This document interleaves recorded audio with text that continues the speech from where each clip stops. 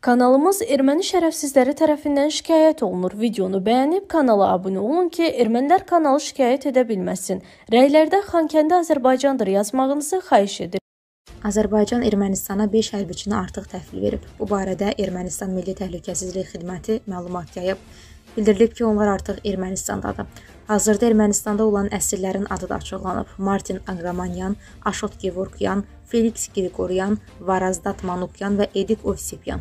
Qeyd edək ki, təhvil verilənlər 10 noyabr 2020-ci il bəyanatından 2 həftə sonra Azərbaycan ərazisinə diversiya məqsədi ilə keçən erməni silahlılarıdır. Ukrayna qüvvələri yaxın 72 saat ərzində Rusiyanın ölkənin şərqindəki təchizat marşrutlarını pozub Kupyanskı azad edə bilər. Bu barədə ABŞ-ın müharibənin öyrənilməsi institutu məlumat yayıb. Sentyabrın 8-də Xarkov vilayətində əks hücuma keçən Ukrayna qüvvələri Rusiyanın Kupyanskdakı əsas ön cəbhə xəttindən 20 kilometr dərinliyə irəliləyiblər. Onlar yaxın 72 saat ərzində Rusiyanın İzyumla quru əlaqə xətlərini ciddi şəkildə azaldan, lakin tamamilə kəsməyən Kupyanskı ələ keçirə bilər deyə məlumatda deyilir. Ukraynada müharibə tam gücü ilə davam edir və Ukrayna ordusu bəzi istiqamətlərdə tədricən üstünlüyə yiyələnməyə başlayır. Son məlumatlara görə Ukrayna müdafiə qüvvələri Xarkov istiqamətində 50 kilometrə qədər irəliləyib. Müşahidələr göstərir ki, Rus ordusu müharibənin 7-ci ayında artıq taqətdən düşüb və hücum potensialını itirib. Vladimir Putin isə hələ də Ukraynanın işğal fikrindən daşınmaq niyyətində olmadığını nümayiş etdirir. Avropaya qaz nəqlini dayandırır, dünyanı gah təbii qaz, gah ərzaq böhranı, gah da nüvə fəlakəti ilə şantaj edir. Aspolitiko Info Ukrayna mövzusunu Azad Demokratlar Partiyasının sədri, təhlükəsizlik sahəsi üzrə ekspert Sülhəddin Əkbərlə müzakirə edib. Sülhəddin bəy Ukrayna savaşında dinamika artır. Ukrayna müdafiə qüvvələri bəzi istiqamətlərdə əks hücumlar həyata keçirir. Müharibənin gedişatını necə qiymətləndirirsiniz? Son müsahibəmizdə əsas döyüşlərin avqustun sonunda və ya sentyabrın əvvəllərində başlayacağını bildirmişdim. Həqiqətən də avqustun 29-da əks hücum əməliyyatı başlayıb. Halbuki Ukrayna tərəfi buna ehtiyatla yanaşaraq əks hücum fəaliyyətləri deyir. Ola bilsin ki, bu zaman uğursuzluqlar risklərini də nəzərə alırlar. Əslində bu əks hücumdur. Müəyyən uğurlar da ortadadır. Gözlənilməzlik baxımından bunu uğurlu sayıram. Həm Xerson, həm də Xarkov istiqamətində ciddi irəliləyişlər var. Artıq təşəbbüsün Ukrayna ordusunun əlinə keçdiyini müşahidə edirik. Müharibənin ilk günlərində qeyd edirdim ki, Putin Rusiyası strateji məğlubiyyətə düçar olub. Artıq söhbət operativ və taktiki səviyyədə mübarizədən gedir. İndi ikinci səviyyəyə gəlmişik, operativ səviyyə. Bu mərhələdə Rusiya ordusunun hücum potensialı yalnız Baxmut istiqamətində qalıb. Bu gün gələn xəbərləri də nəzərə alsaq deyə bilərik ki, uzağı 72 saat ərzində Rus hərbiçiləri çıxış yolu tapa bilməsə, Ukrayna əks hücum kampaniyasını uğurla davam etdirsə, təşəbbüs operativ sahədə Kiyevin əlinə keçəcək. Müharibədə hər iki tərəfdən təxminən 200 minlik ordu prosesə cəlb edilib. Rusiya üçün 200 minlik qruplaşma onun ümumi ordusunun 10-15% deməkdir. Çətin duruma düşən Rusiya müharibə meydanında əlavə hərbi birləşmələr ata bilərmi? Bu müharibə göstərdi ki, Rusiya ordusunun nominal sayı barədə məlumatlar ancaq rəqibləri çəkindirmək və qorxutmaq üçün imiş. Əslində Ukrayna silahlı qüvvələrinin döyüş qabiliyyətli hissələrinin sayı Rusiyanın analoji qüvvəsindən çoxdur. Ukraynanın 250 minlik döyüş qabiliyyətli qüvvəsi, 150 minlik ehtiyatı var. Hadisələrin gedişi göstərir ki, Rusiyanın isə cəmi 150 minlik döyüş qabiliyyətli hərbi birləşmələri varmış. Son xəbərlərdən də görünür ki, onların yeni ehtiyat qüvvələri yoxdur. Bir neçə gün əvvəl son olaraq cəmi bir ordu korpusunun yaradılması və Ukraynaya göndərilməsindən söhbət gedirdi. Son kəşfiyyat məlumatlarına görə bu korpusa cəmi 10 min adam toplaya biliblər. Onun da döyüş keyfiyyəti və qabiliyyəti yüksək ola bilməz. Hazırda Ukrayna ordusu üç istiqamətdə əks hücum manevrləri həyata keçirir. Şimalda Xarkov, şərqdə Donbas və cənubda Xerson. Bu istiqamətlərdə uğurlu irəliləyişə nail olunsa, sonda bu xəttlər özündə nəyi birləşdirəcək? Bununla Krıma yol açıla bilərmi? Birincisi Xerson istiqaməti siyasi strateji baxımdan çox əhəmiyyətlidir. Çünki Xerson yeganə vilayət mərkəzidir ki, Rusiya tərəfindən ələ keçirilib. Burada rusların xüsusi əməliyyatı mühüm rol oynayıb. Yəni əvvəldən burada əməliyyat tədbirləri görülüb və şəhər xəyanət nəticəsində itirilib.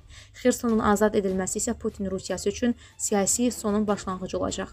Bu baxımdan da siyasi əhəmiyyət daşıyır. Rusiya artıq Avropaya qaz nəqlini dayandırıb. NATO baş katibi Jens Stoltenberg də belə aparıcı təhlil mərkəzləri proqnoz edirlər ki, qış fəslində Avropada nümayişlər, etirazlar və problemlər müşahidə olunacaq.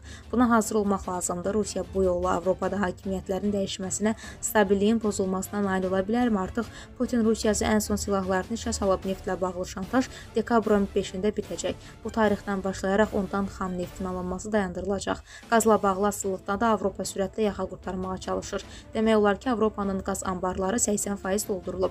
Yəqin ki, soyuqlar düşənə qədər bu rəqəm 90% olacaq. Mən düşünmürəm ki, Avropada enerji daşıyıcıları ilə bağlı bir problem olacaq. Demək istəyirsiniz ki, Rusiyanın əlində artıq başqa təsir vasitələri yoxdur. Bəli, yollar qapanıb. İndi Putin taxıl şantajına keçir. Deyir ki, Ukrayna taxılı varlı ölkələrə gedir. Amma bunun qarşısını yenidən kəssək, kasıb ölkələrdə də nüfuzdan düşəcək. Üstəlik Türkiyə ilə münasibətləri pisləşəcək. Məncə bu Rusiyanın xeyrinə olmazdı. Üstəlik bu Türkiyə üçün də bir bəhanə ola bilər. Odur ki, bu açıqlama Rusiyanın özü üçün risklidir. Ermənistan-Azərbaycan münasibətlərində bir vacib formulanı unutmamalıyıq. Bu sözləri Yeni Sabahazda açıqlamasında siyasi şərhçi Əhməd Əlili deyib. Politoloq Ermənistanın baş naziri Nikol Paşinyanın Vladivostokda erməni icması ilə görüşündə səsləndirdiyi fikirlərə münasibət bildirib. Xatırladaq ki, erməni baş nazir həmin görüşdə Azərbaycan və Ermənistanın Qarabağ məsələsində mövqelərinin üst-üstə düşməməyindən gileylənib. Paşinyan deyib ki, Azərbaycan Qarabağ məsələsinin yekunlaşdığını dəfələrlə bəyan etsə də, Ermənistan bu məsələdə müzakirələrini davam etməsini vacib sayır. Öz növbəsində əlilli əlavə şərh verib. Məsələ ondan ibarətdir ki, 2014-cü ildən etibarən Ermənistan və Azərbaycan arasında olan danışıqlar prosesinin bir məntiqi var. Əgər diplomatik sahədə hər hansısa bir uğur əldə etmək mümkün deyilsə, ona görə də Ermənistan və Azərbaycan arasında olan prosesi bir növ diplomatlarla hərbiçilər arasında mübarizə meydanı kimi görə bilərik. Sülh prosesində hər hansı bir aktivlik olmadıqda hərbiçilər daha çox aktivləşirlər. Siyasi şərhçi Nikol Paşinyanın prosesi qəsdən uzatdığını dilə gətirib. Baş verən prosesləri bu kontekstdə dəyərləndirərdim ki, əgər Ermənistanda Nikol Paşinyan özündən əvvəlki liderlərin siyasəti kimi prosesi uzatmaq istəyirsə və çalışırsa ki, proseslərdə vaxt uzsun, o cümlədən Qarabağın təslim edilməsi və yaxud da ki, müəyyən güzəştlər edilməsi ilə bağlı sənədlərə imza atmaq istəmirsə, bunu özündən sonrakı liderlərə saxlamaq istəyirsə, belə olan halda düşünürəm ki, artıq Nikol Paşinyanın elə bir lüksü yoxdur. Ən azına görə ki, əgər 2014-cü ilin avqust hadisələri bu formada işləyirdisə, eləcə də Robert Köçəryan və Ser Sarkisyan prosesləri uzada bilmişdilərsə, eyni formada Nikol Paşinyan da bundan yararlana bilməyəcək. O ki, qaldı Azərbaycanla fikir ayrılığında olmasına düşünürəm ki, Nikol Paşinyan Brüssel görüşündən sonra çalışır ki, hər vəcihlə Azərbaycanla problemin olduğunu göstərib prosesi mümkün qədər uzatsın. Hər hansı bir sənədə imza atmasın. Nikol Paşinyan Qarabağ uduzan bir lider olsa da, o istəyir ki, yekun sənədə imza atan məhz o olmasın. O başa düşür ki, hazırda onun hakimiyyətdə qalmasının əsas səbəbi ondan ibarətdir ki, artıq Qarabağın uduzmasından ilkin addımları sənədləri o atıb. Gözlənilir ki, o müəyyən əlavə sənədlərə də imza atsın. Əlavə sənədlərə imza atdıqdan sonra artıq Ermənistan tarixində yeni mərhələ başlatmaq istəyən liderlər var da. Amma onlar da hakimiyyəti Nikol Paşinyanın əlindən tezliklə almaq istəmirlər. Gözləyirlər ki, məhz Nikol Paşinyan bu sənədlərə imza atsın deyə müsahibimiz yekunlaşdı. ABŞ-ın Müharibə Araşdırmaları İnstitutunun verdiyi məlumata əsasən 6-7 sentyabr tarixlərində Ukrayna silahlı qüvvələri 400 kvadrat kilometr ərazini işğaldan azad edib. Dünən axşam prezident Volodimir Zelenski Ukrayna qoşunlarının ölkənin şimal-şərqindəki Xarkov vilayətində bir neçə yaşayış məntəqəsini geri aldığını bildirib. Bu həftə Xarkov vilayətindən yaxşı xəbərimiz var, deyən Zelenski işğaldan azad edilən yaşayış məntəqələrinin adlarını çəkmək üçün uyğun vaxt olmadığını da vurğulayıb. Sentyabrın 7-sindəki Bakı çıxışında prezident döyüş tapşırıqları zamanı göstərdikləri şücaət və qəhrəmanlıqları sayəsində yenidən Ukrayna bayrağını yüksəldən hərbi hissələrə təşəkkür edib. Xatırladaq ki, son günlər Xarkov vilayətində Ukrayna hərbi qüvvələrinin irəliləyişi əskərlərin Balakliya şəhər ətrafındakı geri alınmış kəndlərdə çəkilmiş video və fotoları sosial şəbəkələrdə yayılsa da, Ukrayna rəsmiləri xəbərlərin heç birini təsdiqləməyib. Ukrayna həmçinin əks hücum apardığı ölkənin cənubunda bir neçə kəndi geri aldığını iddia edib. Ukraynalı tanınmış hərbi bloger Yuri Butusov isə bu günlərdə Xarkov və Xerson ətrafında baş verən hücum əməliyyatlarından sonra Rusiya təbliğatında kəskin dəyişikliklərə diqqət ayırıb. Onun sözlərinə görə Ukraynaya qarşı təcavüzü fəal şəkildə təbliğ edən 1 milyon abunəçisi olan Kreml yönlü Telegram kanalı Riyadovka Ukrayna silahlı qüvvələrinin hücum əməliyyatının xəritəsini dərc edib. Bu xəritədə Ukrayna qoşunlarının sentyabrın 6-sında eyni vaxtda 4 zərbə endirdiyini göstərir. Amma 2 gün əvvəl bütün rus təbliğatçıları panika yoxdur yazırdılar. Təbii ki, biz Ukrayna tərəfdən heç bir məlumat verməyəcəyik və düşmənimizdən gələn bu cür vahimə xəbərlərinə inanmaq çətindir. Amma belə xəritələrə görə Putinin və Rusiya silahlı qüvvələrinin Qərb hərbi dairəsinin İzyum bölgəsində cəmləşmiş əsas qüvvələri üçün çox pis xəbərlər var. Ruslar Prişib kəndini Ukrayna qoşunlarının cəmləşməsi üçün başlanğıc nöqtəsi nöqtəsi kimi göstərirlər. Xəritəyə əsasən Ukrayna qoşunları Prişi bölgəsində Rus ordusunun müdafiəsini yarıb, Voloxov yarımhüm yol qovşağını Seminovkanı azad edib və 2 gündən sonra Sevchenko kəndinə yaxınlaşıb. Bu çox yüksək irəliləyiş göstəricisidir. Xüsusən nəzərə alsaq ki, qoşunlar bu yolu dislokasiya olunmuş döyüş birləşmələri keçməli, bərbad ərazidə müdafiə olunan düşmənlə döyüşə girməlidir. Yəni birbaşa irəli getmək mümkün deyil. Xəritəyə görə Sevchenko kəndi Rusiya silahlı qüvvələrinin İzyum bölgəsindəki bütün hərəkətləri üçün əlaqə nöqtəsidir. Çünki ərazidə bütün əməliyyatlara nəzarəti təmin edən əsas rabitə qovşağı orada yerləşir. Kupyanska çıxış İzyum yaxınlığındakı Rus qoşun qrupunun tam mühasirəyə alınması demək olacaq.